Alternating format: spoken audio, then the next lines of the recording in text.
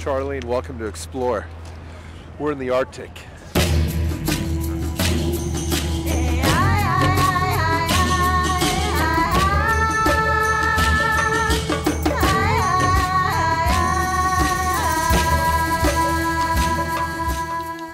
The indigenous people of much of the Arctic are the Inuit, a people who live by and in harmony with the land and sea of this frozen paradise.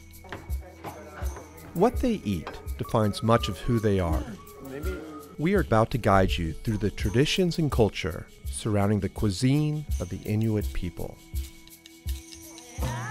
We are traveling through northeast Canada and Greenland. Our guide, the mayor of Iqaluit, Elisapee Sheutiapik. What do we got here? What's that? Seal meat with some fat. Yeah, definitely this piece. In our community, the hunting is still very much a big part of people's lives. When our people go hunting, it's usually for caribou or seal, walrus, whales. There are still true hunters in Iqaluit. When they come into the community with a catch, they go around and distribute their catch. Did I deliver or what? seal. We have special way of cutting it. We have special way of preparing it. And all different part of the seal is for uh, for them, for women's part, men's part. That's how you eat the seal. What what part do the women get? Heart, spinal, liver is for women and men as well. Things like that. And what part do the men get? The ribs, lower ribs, and the lower spine. It's not, you know, how they always say Inuit eat raw food. No, we eat raw food, but it has to be prepared traditionally. And we don't eat it like a savages. We eat it like a human being, like somebody who put it on the table and you eat it proudly.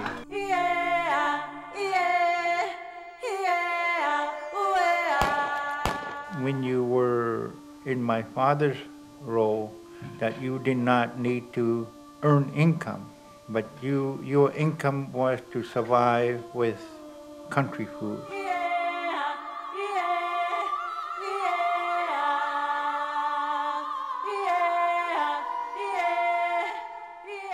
We were taught how to support everybody, support ourselves within within the small community. The Inuit have a unique and spiritual connection to what they hunt and eat. The traditional religion of the Inuit is, in fact, animism, which includes a belief that animals, like human beings, possess souls. Legend puts forth that the seal actually offered themselves up to hunters in exchange for the hunter's respect of nature. Are times easier today or harder No, for hunting? no, I would say it's harder because there, there seems to be more people and uh, less uh, hunting grounds are a lot more occupied.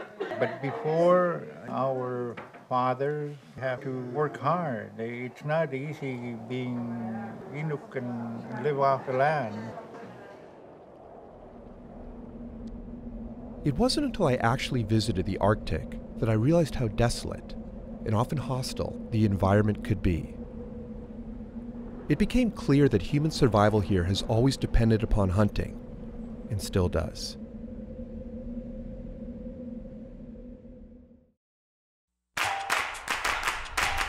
The mayor and I visited the meat market in Sisimiut, Greenland.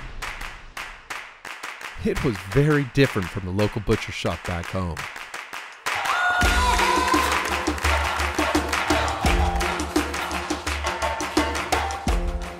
This? Little dolphin. We have made eating so impersonal. If I had to kill a caribou, I'd probably just be a vegetarian. We buy meat so neatly packaged in the market. It's so attractive.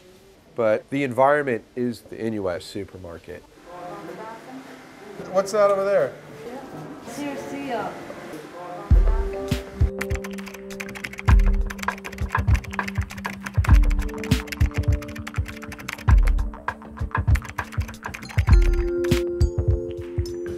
Both. Either you cook it? Both. You prefer raw. In your freezer though? Frozen? Yeah. Yeah. Which one is this? Small whale.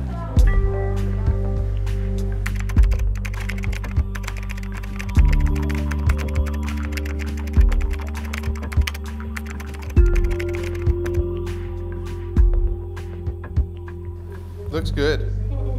Yummy. Inuit really appreciate the animal and use every part of it to the last drop.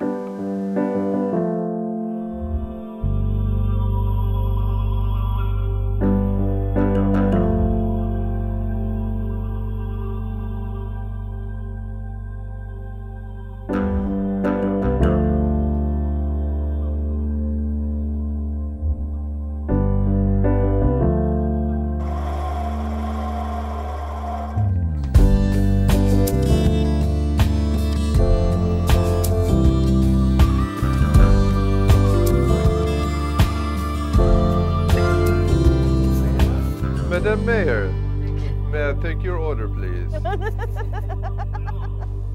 Have you noticed with the more your culture switched from hunting to just going to the general store that health has been affected by the you know spread of junk food itself? Oh, very much so, I'd say. We're not as strong. There's more obesity. And you know, we had very healthy people back in the day when all they ate was country food. No sugar, no additives. Feeding a family from just market food is also practically impossible for most Inuit families. The current lack of deep sea docks in this part of the world means there are no mass food imports, so the cost of store bought food is incredibly high.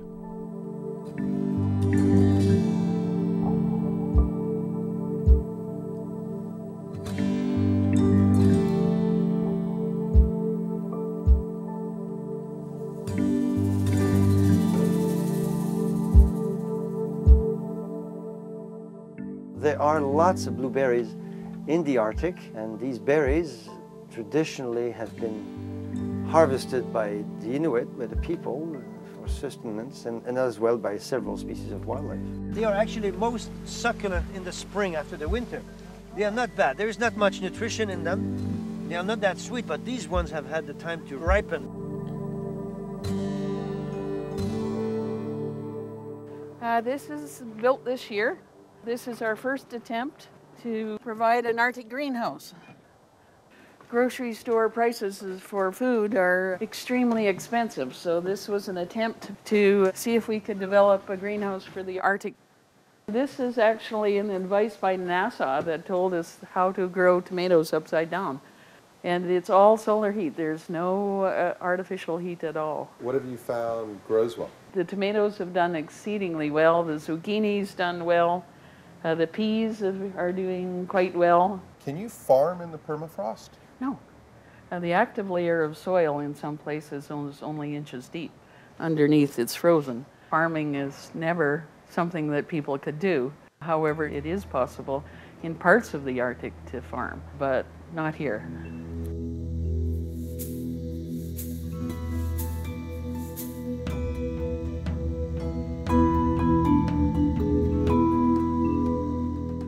Way of life has changed in the sense that the hunter doesn't just hunt anymore. They, they too um, working in the, in the government system where it's Monday to Friday, nine to five, and makes it harder to be a true hunter. As traditional Inuit culture and lifestyle is absorbed into the modern world, the cuisine will undergo some changes. For now, though, the best meal in town is good old Arctic country food. Yummy!